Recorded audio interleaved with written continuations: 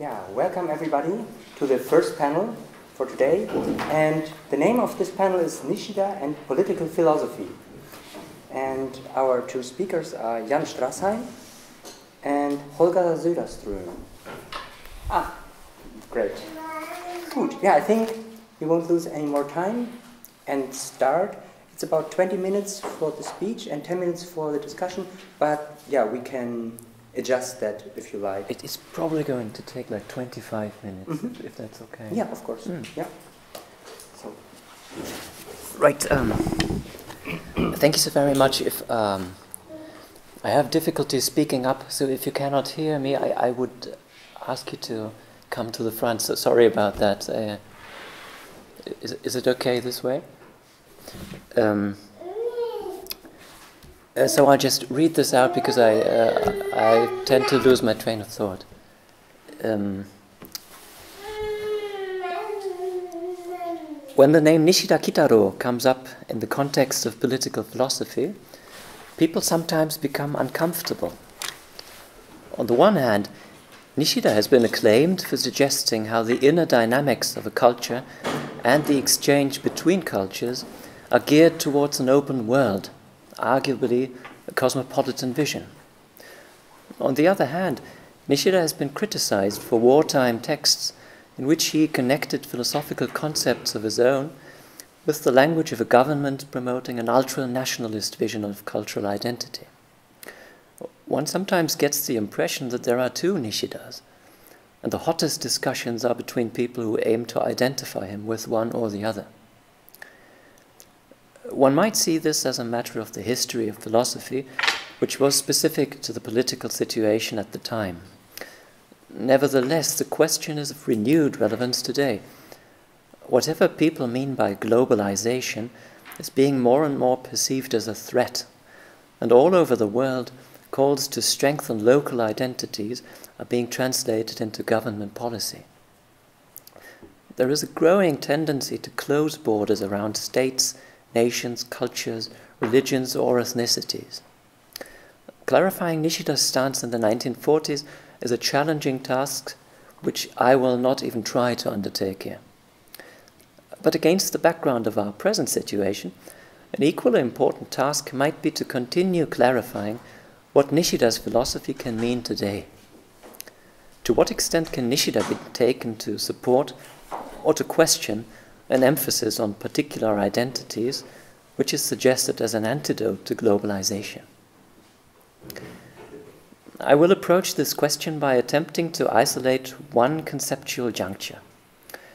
I will focus on a possible ambiguity in some of Nishida's arguments.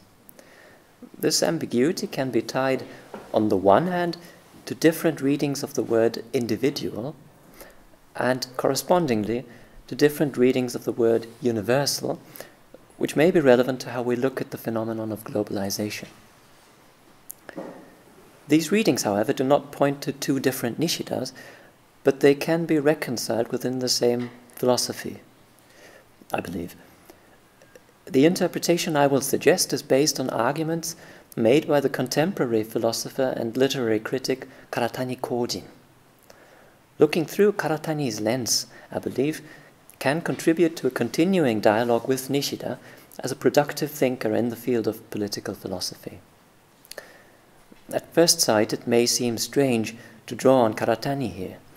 This is not only because Karatani, with his deconstructivist influences, seems to do a completely different brand of philosophy, but also because he criticized Nishida in connection with the political implications of his work.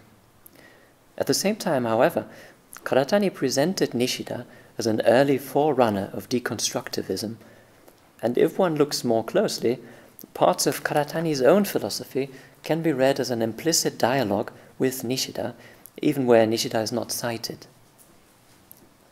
This somewhat ambivalent attitude of Karatani's may, in part, reflect an ambivalence in Nishida's own writings. I'd like to point to one such ambivalence by using a distinction Karatani draws in his 2001 book Transcritique. Although this book does not even mention the name Nishida, I think that some of the argument contains echoes of Nishida and can be projected back onto Nishida in a fruitful way. Mm, the basic problem has often been remarked on. There is in Nishida a tension between a universalist reading which emphasizes the unity of mankind and a more particularist reading which emphasizes group identities. This tension can be found already in Nishida's 1911 book Inquiry into the Good, in Japanese Zenno. In this book, Nishida describes the individual as carved out of the fullness of what he calls pure experience. This fullness of experience is far richer than the individual's identity, more narrowly understood. It also connects him or her with other individuals. This is because when I succeed in accessing pure experience, I step beyond the rigid distinctions which define my identity as an individual and which separate my identity from that of other individuals. In pure experience, the other person is no less and no more a stranger, right? No more, no less and no more a stranger to me than my own self of yesterday is a stranger to myself as I am now. At the same time, Nishida sees an important role for collective distinctions, such as those of, particular, of a particular state, society, or language. Collectives such as these shape the individual identities of their members and, as evident especially with language, allow them to understand each other in a shared world. Mm. Hence, the individual stands in two kinds of relation. Under the aspect of pure experience, the individual is in principle related to all others through a universal connection. Under the aspect of group membership, the individual is connected to all other group members and only to them. There is a tension between these two aspects because, in the second relation, the individual is connected to certain others through shared distinctions, while in the first relation, all individuals are connected by transcending such distinctions. Against this background, the role of social distinctions is ambivalent. As might be expected given the universal connection of individuals, Nishida sees us as developing towards what he calls the ideal of a society of mankind. In Nishida's words. This ideal transcends any particular group. But at the present historical moment, he says, it is not a reality. In this perspective, if you happen to be a citizen of a particular state, this state is merely a step on the way to a society of mankind. At the same time, Uh, Nishida repeatedly refers to Hegel and underlines the lasting role of the state in world history. States, he writes, form a collective consciousness which is at the origin of the individual consciousness of their citizens. He even says that individuals develop as cells, this is a biological term here, of a society, as if a society were a large body with an individual identity of its own. These two basic ideas continue to compete with each other in Nishida's later works, and both are elaborated further. Nevertheless, the side of particularism seemed to have a growing advantage in this competition, which was hammered home to Nishida by some of his students.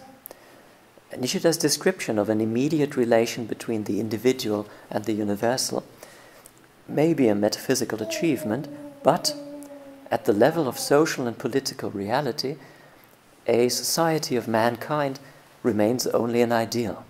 What is real are nations, states, cultures, or languages, their effects on the individual members, and their role in shaping and coordinating concrete experience and action. On the level of reality, the argument goes, Hegel was right in saying that an individual is always the particular instance of something more general. This level of generality holds a central place, still according to this argument, because on the one hand it relates to the universal, which would remain empty unless the general realized some of its possibilities. On the other hand, the general relates to the individual because it, it the, the general, expresses itself in those individual instances which fall under it. Hence, the individual is related primarily not to the universal, but to a generality, such as the state, which mediates between the individual and the universal. If this argument is true, a society of mankind will either remain an unfulfilled ideal, or it could at most be realized as a world state or as world domination by a particular language or culture. This seems to be quite similar to the notion of globalization, which is articulated today by many who wish to strengthen cultural or national identities. I now turn to Karatani's critique of the broadly Hegelian argument which I just sketched. Karatani does not deny that the particular and the general necessarily refer to each other. However, he notes that these two terms should not be confused with another pair of terms which is quite different. The second pair is singular and universal. For example, when we see an individual person as a German, we describe them under the aspect of a particular characteristic, which of course presupposes some general idea of being German. But when we see an individual as singular, we do not describe them at all. The singular is a something, a thisness, which escapes all general determinations. As a singular, an individual is not regarded as an exemplar of some type or as a carrier of a function. Therefore, it cannot be replaced by any other individual. The role of the singular and its relation to the dimension which Karatani calls universal becomes clearer when we consider how he describes the first pair of concepts. Right, back to general, general and particular. The general and the particular form a circle of mutual determination. Describing an individual as German implies a general concept.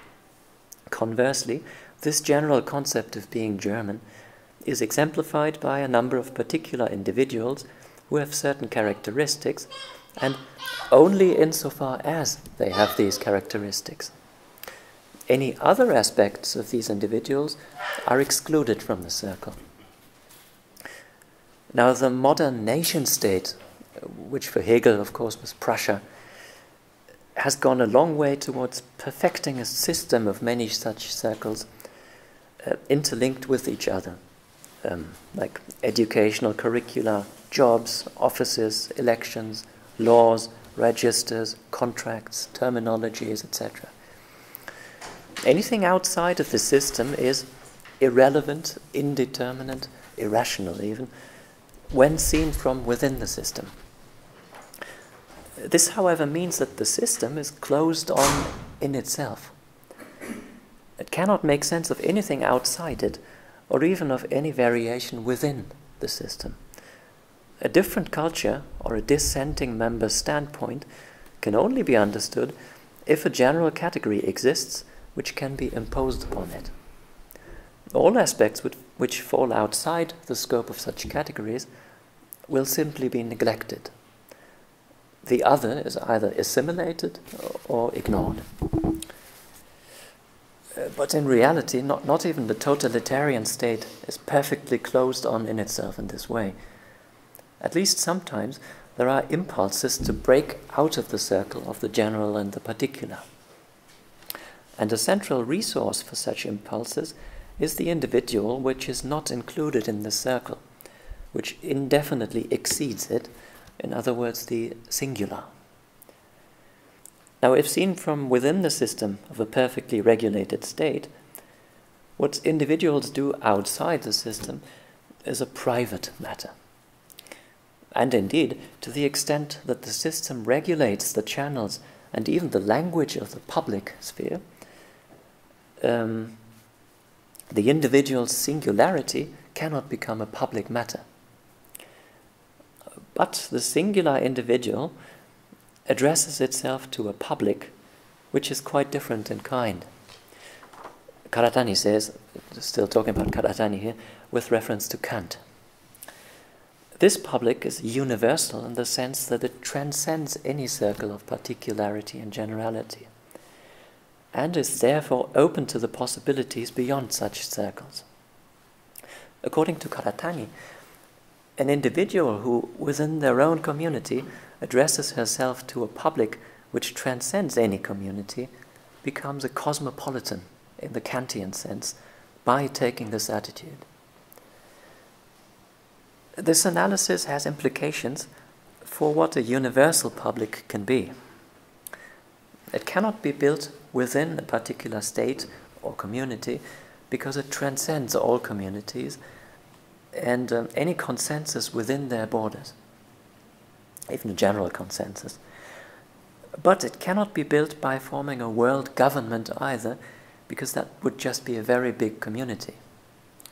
Instead, Karatani argues, the encounter between the singular and the universal happens in an essentially transitory field, which he exemplifies in the dimension of space and that of time. In the spatial dimension, the encounter unfolds in what Karatani calls, uh, quote, the space between communities, unquote. That is, it happens when different circles interact without yet having general concepts to categorize the other's behavior or appearance or whatever. Karatani refers to traveling, living in a foreign country and meeting foreigners in one's own country, or reading texts produced in other cultures. Such encounters can help unsettle seemingly self evident concepts and provide access to the dimensions of both the singular and the universal as Karatani exemplifies in the thought of Descartes, Kant, and Marx, and we might add Nishida. In the dimension of time, a universal public is always a future public. The Kantian scholar, for instance, writes for a public of future critics who will continue to scrutinize his or her arguments from as yet unknown angles. In both dimensions, it is the nature of the universal, just as it was with the singular, that it does not exist if seen from within the circle of the general and the particular. As for space, to the extent that the relations between communities become regulated on both sides, they lose their openness. As for time, when the response of a future critic can be expected and conceptualized within my argument already now. It has already been drawn into the circle of the general and the particular. In this sense, the universal exists only as an ideal which remains outside the palpable reality of nations and states. But this is precisely what allows the universal to function as an impulse which introduces changes into this reality and allows it to be open. I now return to Nishida and try to apply these conceptual tools to his philosophy. The relation between the singular and the universal, as described by Karatani, resonates well with some of the argument Nishida makes in his 1932 paper I and Thou, Watashi to Nanji. When I encounter another person, I may simply impose upon them general categories I have for people. By this method, I will grasp the other as an individual of a particular kind. But I will not grasp them in their singular uh, individuality. In Nishida's terms, I will grasp the other person as a relative other, but not as an absolute other. In order to do this, I must break up the continuity of my own categories, which, in their regular application, turn everything I touch into an instance of some general pattern that I already have. The singular other can only be found beyond these categories. However, these are the same categories which shape my own particular identity um, and my own particular individuality as a member of a state, nation, language, community, etc. Their continuity the continuity of those concepts, um, is part of what gives me my stable identity as a member of these collectives. Therefore, when I break up the categories that I restrict, the categories that restrict the other to a particular individuality, I also break up what restricts myself to a particular individuality. In Nishida's words, I encounter the absolute other within myself.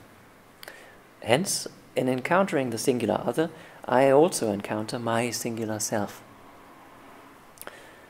This is essentially the position that Nishida had already taken in his inquiry into the good, when saying that pure experience reveals a connection between individuals.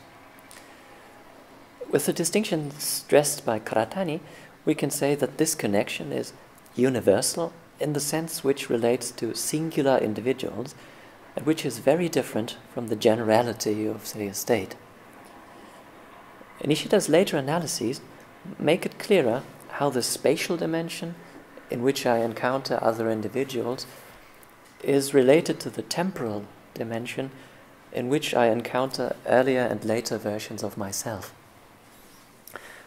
Karatani's examples of these two dimensions tend to emphasize rather extraordinary and historical settings, the meeting between communities or the Enlightenment writer who writes for future critics uh, Nishida's I and Thou focuses on an encounter between two individuals, which can happen anywhere in our ordinary lives and even within highly regulated communities. As for the individual, he or she is no doubt shaped by social formations such as states or national languages. But this concerns only the individual seen as a particular in correspondence with general determinations.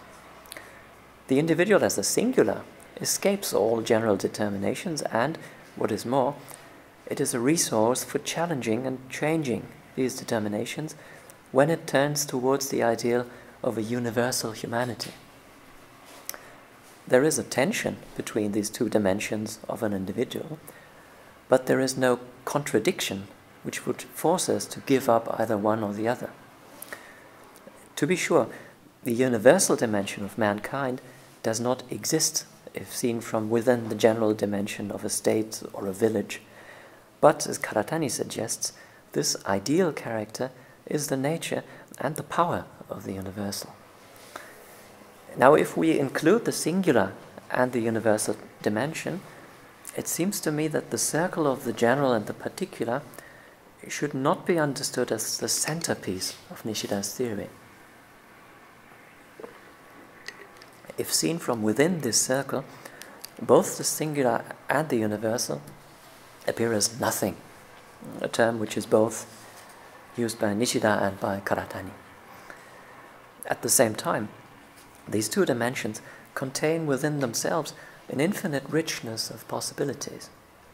All general and particular determinations, and any system of such determinations, merely realize some of those possibilities. In this sense, the relation between the singular and the universal contains within itself all possible circles of generalization and particularization, none of which can necessarily claim a central mediating position. One might object that this argument fails at least in one area, and that is language.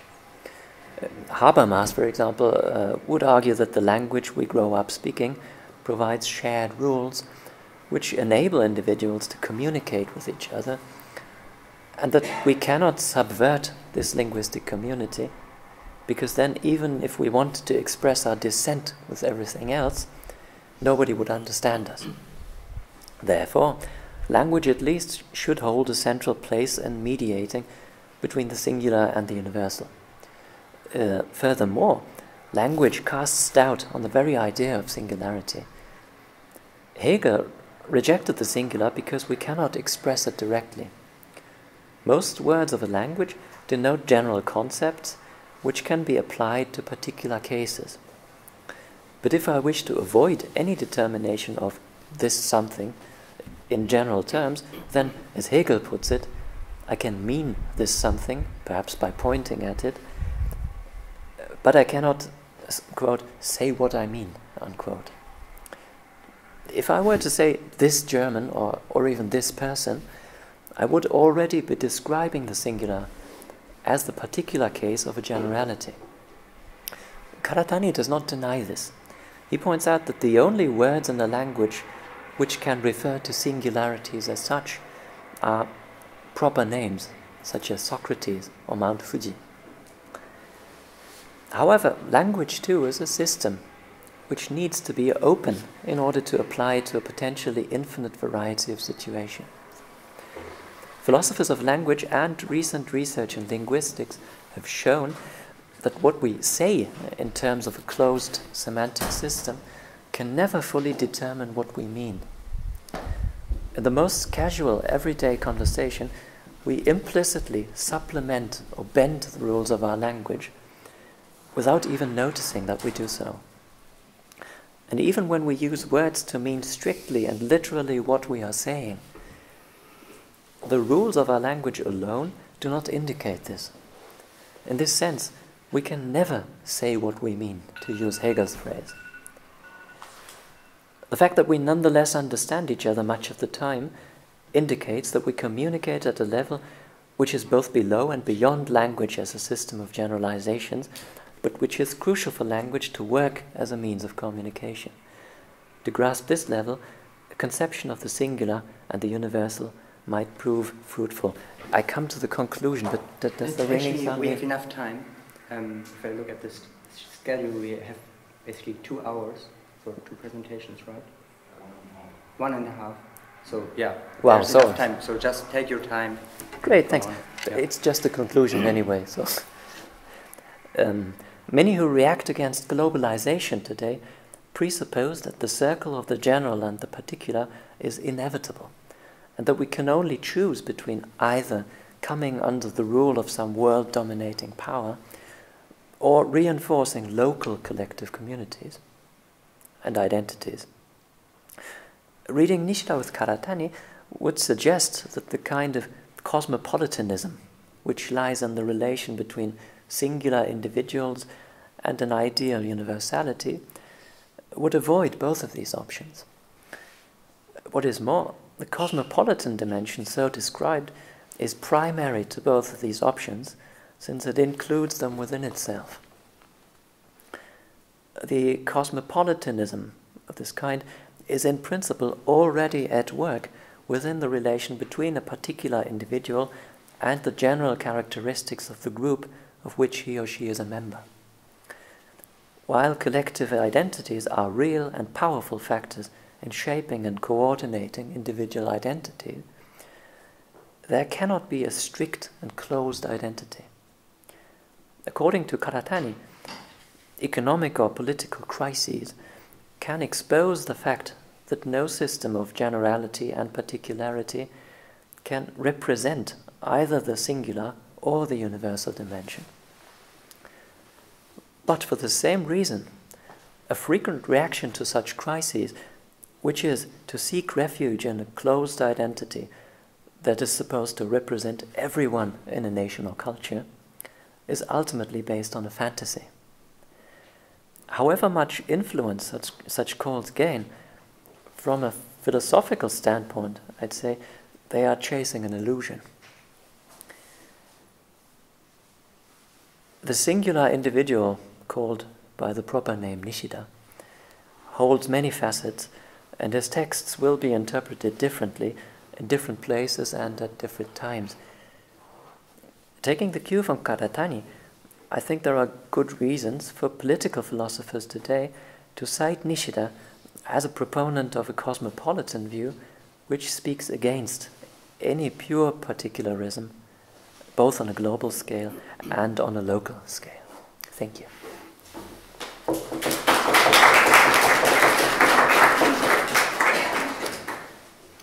Thank you very much, Jan Strassheim. We have now plenty of time for questions or, yeah. Um, and, yeah.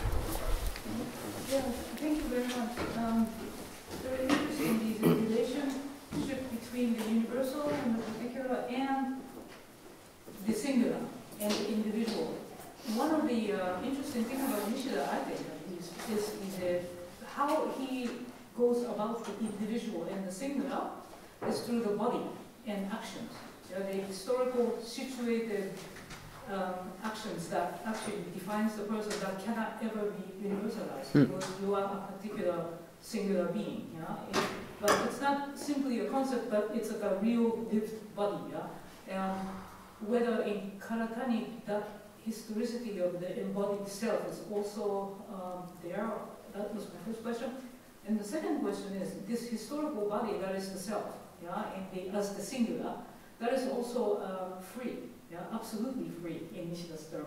That means you are even able to negate the uh, cosmopolitan ideas, yeah, because all ideas can potentially be negated in these uh, Nishida's dialectic. That is the power of these uh, singular, no? that can even negate the, uh, the universal.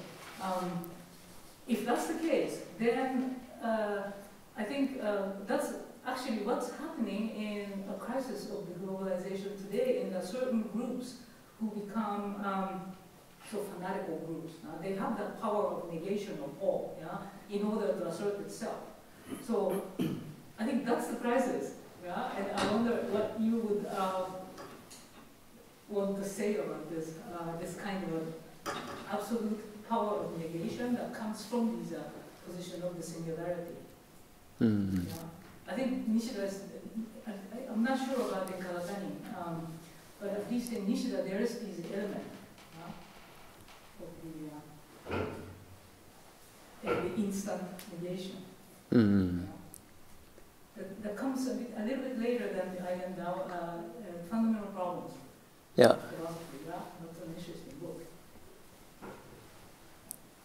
Hmm. Thank so you. Maybe that's a lot, but Th- that's a lot. Thank you very much. The, um, the, the, those are fascinating questions. Um, I believe, but anybody who knows Karatani better than I do, please correct me, that the body does not play um, uh, such a fundamental role as it does in uh, Nishida, especially with respect to uh, singularity. But um, I think this could very well be combined as sort of. Um, uh, in Nishida, as you say, um, the body is also the medium um, which, contain, which expresses the spatial character of meeting the other person, which is both a separation and a connection.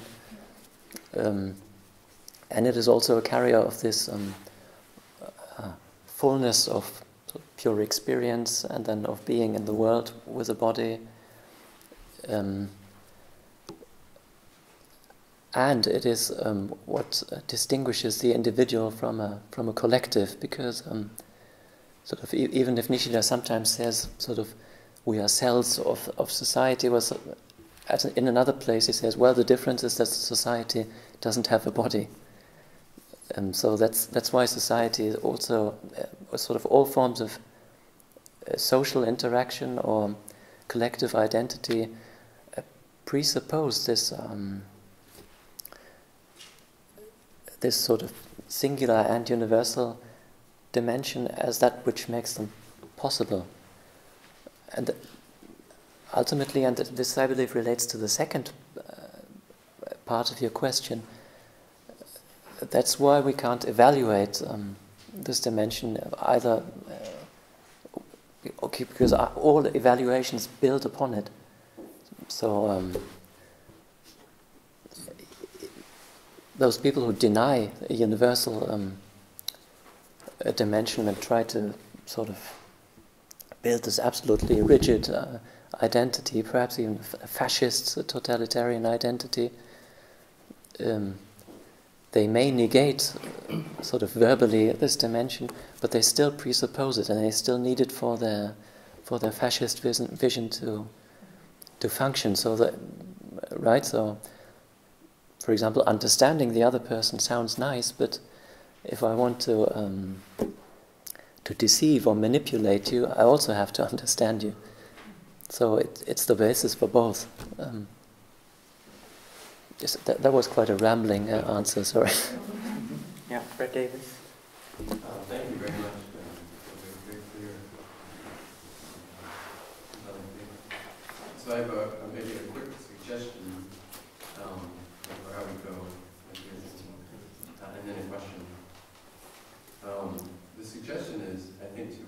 Understand this problem in the political terms of, in later Nishida's writings and writings you're focusing on. We have to go all the way back, though, at least to the, the uh, Basho essay, and to his attempt to work out this logically, and to his attempt to develop uh, what he calls the Jutsugo no Ronri, the logic of the predicate, where he's trying to think precisely of the relation between um, the particular and the general, and the singular and universal. And so I think he's really sort of pushing that, trying to think logically, and that's all in the background then when he turns to think in social, political terms. Mm. So I think it just might be really helpful to, to clarify a lot of the things that you're saying by, by going back and, and, and tracing that through. Thank you. My, my question is about the um, ambiguity of the individual, um, that we can mean by individual, um, both the, the particular and the singular as a group. Now, maybe I was mishearing um, what you were saying, how you were saying it, but it seems to me that part of the, what's interesting and difficult is that those can never be separated. We can never separate the singular and the particular. It's not as if we have the singular sort of individual here, and then that singular individual is going to sometimes take on particular characteristics, but rather uh, any individual is always going to be both at once uh, particular and singular. And for that very reason, there can be um, a circulation between the general and particular. If the particular had no singularity to it, it had no creativity, one might say, what Nishida calls the gyakugentei, or the, the power of counter-determination, then there could be no circulation. It would just be top-down determination. And so it's because that singular always uh, inhabits the particular, you could say. And so if we think sort of concretely about, say, an individual person, if you were to take away from that individual person all of those generalities, you know, the German, male, this, that, right, it, that person would not, you know, would not be able to say, I'm, I'm me, so to speak. Those very much sort of determine, and yet not exhaustively. That's why there's a singular that, that inhabits the, the particulars. So, do you see what I'm saying? I think what's interesting and difficult is that those cannot be um, separated. Is that, am I disagreeing with you all? Or No, I, I, I completely agree with you.